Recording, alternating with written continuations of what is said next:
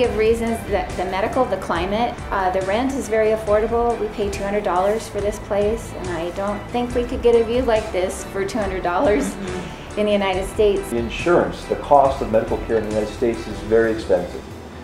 Um, here it's, it's much more affordable.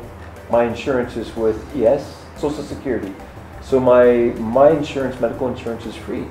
I think the changes are for, are, are for the better in Ecuador. I think Ecuador is really doing a great job in, in listening to the needs uh, of what the people want. But I think uh, Rafael Correa is, is doing a good job.